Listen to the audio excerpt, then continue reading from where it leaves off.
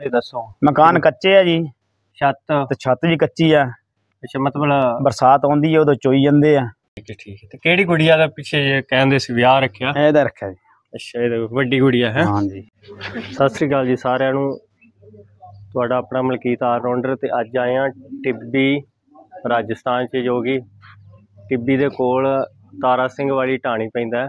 ਉੱਥੇ ਇੱਕ ਗਰੀਬ ਪਰਿਵਾਰ ਹੈ ਤੇ ਜਿਹਦਾ ਕੀ ਨਾਮ ਵੀਰ ਕੋ ਪੁੱਛਨੇ ਕੀ ਨਾਮ ਹੈ ਜੀ ਤੁਹਾਡਾ? ਮਲਕ- ਮਲਕੀਤ ਸਿੰਘ।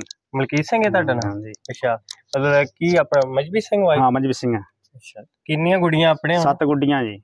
ਠੀਕ ਠੀਕ। ਤੇ ਕਮਾਉਣ ਵਾਲੇ ਤੁਸੀਂ ਆਪ ਹੀ? ਮੈਂ ਇਕੱਲਾ ਹੀ ਕਮਾਉਣ ਵਾਲਾ। ਠੀਕ ਹੈ ਠੀਕ ਹੈ। ਤੇ ਕਿਹੜੀ ਗੁੜੀਆ ਦਾ ਪਿੱਛੇ ਜੇ ਕਹਿੰਦੇ ਸੀ ਵਿਆਹ ਰੱਖਿਆ? ਇਹਦਾ ਰੱਖਿਆ ਜੀ। ਅੱਛਾ ਇਹ ਵੱਡੀ ਗੁੜੀਆ ਹੈ? ਹਾਂਜੀ ਇਹ ਦੱਸੋ। ਮਕਾਨ ਕੱਚੇ ਆ ਜੀ। ਛੱਤ? ਤੇ ਛੱਤ ਵੀ ਕੱਚੀ ਆ। ਅੱਛਾ ਮਤਲਬ ਬਰਸਾਤ ਆਉਂਦੀ ਹੈ ਉਦੋਂ ਚੋਈ ਜਾਂਦੇ ਆ। ਠੀਕ ਹੈ ਬਹੁਤਾ ਬੁਰਾ ਹਾਲ ਹੈ? ਹਾਂਜੀ ਬਹੁਤ ਬੁਰਾ ਹਾਲ ਹੈ ਜੀ। ਤੇ ਜੇ ਤੁਹਾਡੀ ਮਦਦ ਵੀਰੇ ਹੋ ਜੇ। ਮਦਦ ਕਰ ਤੁਹਾਡਾ ਧੰਨਵਾਦ ਹੈ ਜੀ। ਚਲੋ ਕੁਝ ਅਸੀਂ ਵੀ ਕਰਾਂਗੇ ਕੁਝ ਵੀਰ ਜਿਹੜਾ। ਮੈਨੂੰ ਜਿਹਨੇ ਤੁਹਾਡੇ ਬਾਰੇ ਦੱਸਿਆ ਸੀ ਹੀਰਾ ਸਿੰਘ ਝੱਬਰਿਓ ਪਿੰਡ। ਹਾਰਨੀ ਤੋਂ ਹੀ ਨੇ। ਵੀ ਐਵੇਂ ਐਵੇਂ ਮਜਬੀ ਸਿੱਖ ਪਰਿਵਾਰ ਹੈ ਆਪਣਾ।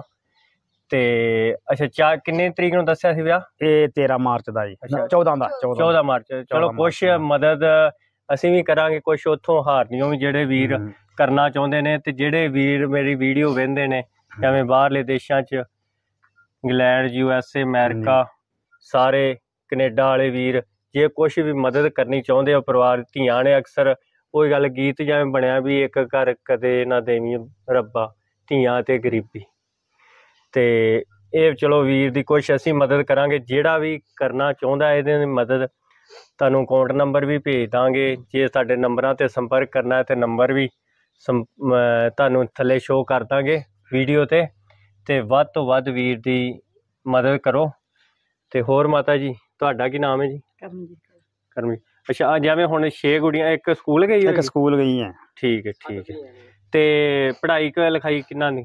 ਕਰਾਉਂਦੇ ਸਰਕਾਰੀ ਸਕੂਲ? ਇਹ ਸਾਰੇ ਸਰਕਾਰੀ ਜੀ ਹੈ ਸਰਕਾਰੀ ਸਕੂਲ ਚ। ਕਿੰਨਵੀਂ ਤੱਕ ਇੱਥੇ ਸਰਕਾਰੀ ਸਕੂਲ? ਇੱਥੇ 12ਵੀਂ 10ਵੀਂ ਤਾਈਂ ਹੈ। ਅੱਛਾ 12ਵੀਂ ਤਾਈਂ ਹੈ। 12ਵੀਂ ਤੱਕ। ਚਲੋ ਕੁਝ ਨਹੀਂ ਤੁਸੀਂ ਪੜ੍ਹਾਓ। ਠੀਕ ਹੈ ਜੀ। ਕੀ ਪਤਾ ਬੱਚੇ ਨੂੰ ਜਿੰਨਾ ਕੋ ਪੜ੍ਹਾ ਸਕਦੇ ਕੁਝ ਨਹੀਂ। ਕੋਈ ਜਿਹੜੇ ਮਦਦ ਵੀ ਕਰਨਾ ਚਾਹੁੰਦੇ ਨੇ ਉਹ ਕਰਨਗੇ ਜ਼ਰੂਰ। ਤੁਹਾਨੂੰ ਉਹ ਦੱਸ ਦਿੱਤਾ ਜਾਏਗਾ।